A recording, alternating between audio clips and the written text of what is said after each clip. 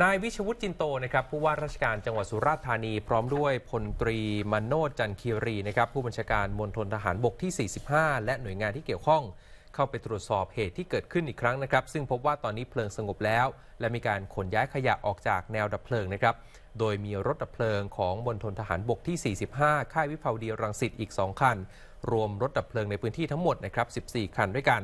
พร้อมเตรียมประจำการนะครับหากเกิดเหตุฉุกเฉินขึ้น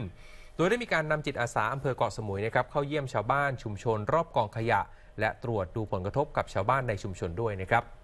ท่านผู้ว่าราชการจังหวัดสุราษฎร์ธานียืนยันนะครับว่าเหตุไฟไหม้เนี่ยไม่ส่งผลกระทบกับการท่องเที่ยว เพราะว่าอยู่ในพื้นที่ห่างไกลจากแหล่งท่องเที่ยวสำคัญ ตอนนี้ได้ให้สาธารณสุขอำเภอเกาะสมุยกองสาธารณสุขนะครับเทศบาลเกาะสมุย และโรงพยาบาลส่งเสริมสุขภาพประจำตำบลเนี่ยนำหน่วยแพทย์พยาบาลไปตรวจดูอาการผู้อยู่ในพื้นที่